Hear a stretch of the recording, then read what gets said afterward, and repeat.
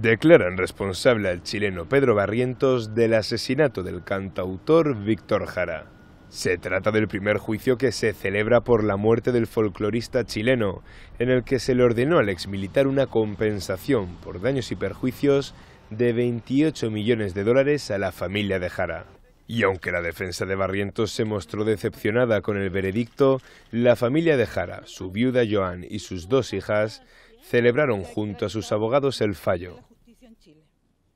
Creo que una gran noticia para mucha gente, mucha gente que en Chile están esperando justicia por sus seres queridos.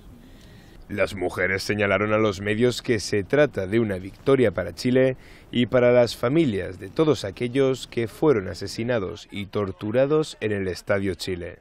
El juicio que se ha llevado a cabo en Estados Unidos es el primero que responsabiliza a alguien del asesinato de Jara, considerado como uno de los casos más emblemáticos de las violaciones a los derechos humanos cometidas en Chile por el régimen de Pinochet.